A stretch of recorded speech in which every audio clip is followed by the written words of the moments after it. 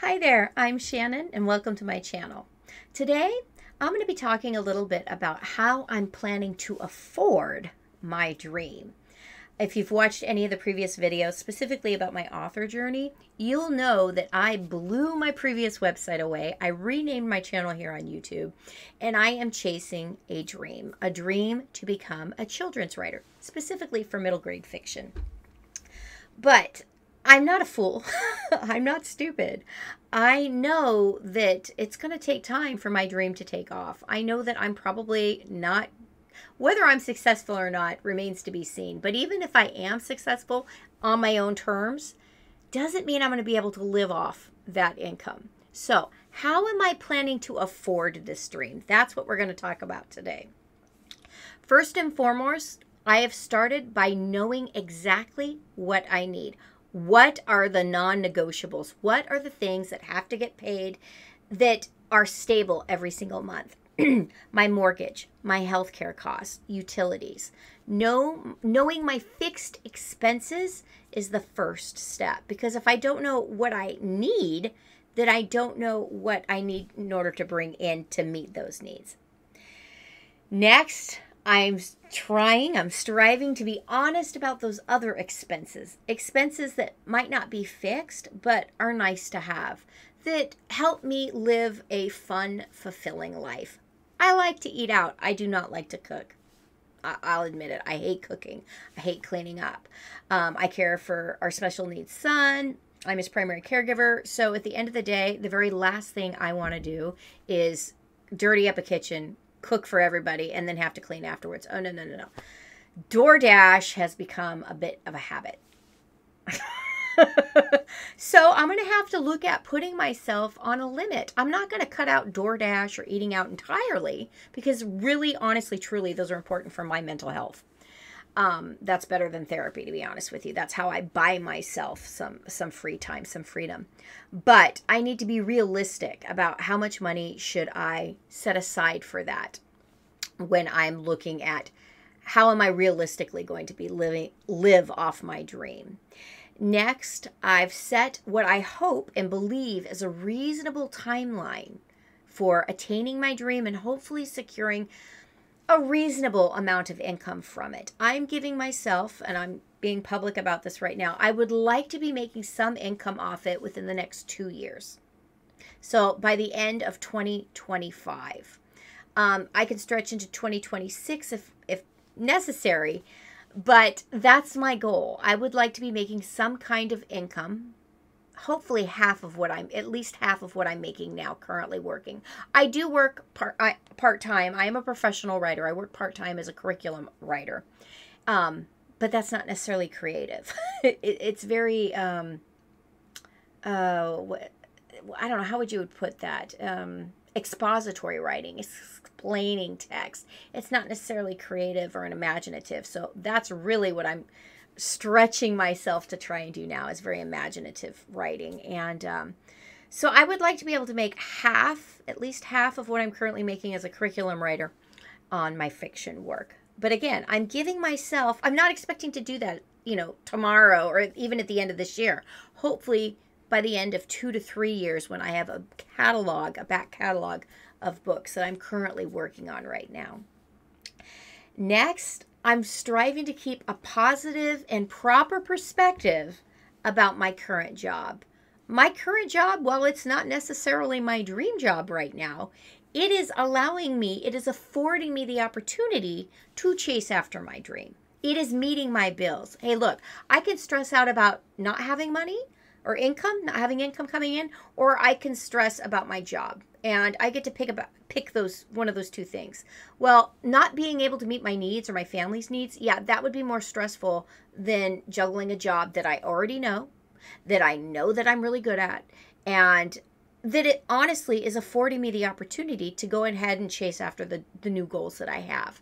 So when I keep it in that perspective, it helps me to actually gain gratitude for the job, the positions that I have right now, even though they may not be completely what I want to do. Next, I am actively seeking and striving to gain multiple streams of income. Now, this is not a financial channel at all in any way, shape, or form. But I do think it's important to recognize that we live in a very unstable world and it's important not to put all your eggs in one basket. And so I would rather have a ton of tiny little streams of income coming in so that if one of those streams dries up, I'm not left high and dry. And so what are those different streams of income? Well, I'm I used to only sell my books on Amazon through KDP. I am going to start trying to go wide, using wide distribution, um, selling on Barnes and Noble, um, Kobo, Apple Books, um, all that good stuff. I'm also here on YouTube. I've committed and I'm trying to maintain a um, editorial, content schedule of one video a week. And I'm actually enjoying it. I was worried that um, this would become stressful, but oh gosh, as horrible as this might sound, I feel like this is a wonderful opportunity to connect to people. Hopefully, people who are like minded or driven by their own dreams or may struggle with their mental health. I have been working from home for the past 15 years, no, 16 years now, because I had to to take care of my disabled son. And that has left me in a very lonely place. It's lonely to be cooped up at home for working, for taking care of your kid. I rarely get out. No wonder I like to go out to eat. you would never meet anyone more friendly with you know serving staff than I am because boy, the chance to chat with somebody, boy, I take every chance I can get. So what I'm saying is this opportunity to make videos for YouTube and to respond to your comments and to read your comments feels like the community that I so desperately need and honestly have probably needed for many, many years now. My village of support is no, I can't think of anybody. Yeah, even even my parents, my husband's parents, they've never been willing to watch Mark. They find his uh, special needs to be incredibly overwhelming. So I respect that, but that also meant that I've had no respite and so I I don't get out much. so my videos and chatting with you is an opportunity to connect to other people, even if it is me just staring at a camera. And that's why your comments and your interactions with me mean so much personally. So I'm actively seeking other streams of income, YouTube being one of them. I'm not monetized yet. I would love to get to a thousand subscribers by the end of this year. November of last year is when I started, and so I'm hoping to get to a thousand subscribers by November. We'll see if how that goes. Again, trying to be very reasonable because there's nothing worse than setting up a goal and then falling woefully short. I'd rather be realistic and work towards something at a pace that um, is doable. So I'm hoping that a year is doable. So that's what I am doing in order to afford my dream. I'm being realistic and being completely transparent and honest about what my needs are. What what are my fixed current expenses? What are the bills that I have to pay? How can I change the bills that aren't fixed or the expenses that do go out that aren't necessarily tied to things like home, uh, housing, utilities? And being realistic about my schedule um, not expecting things to happen overnight. I don't want to. I don't want to dash my dream or embrace failure um, too soon because maybe the dream is attainable. I might just need more time to do it.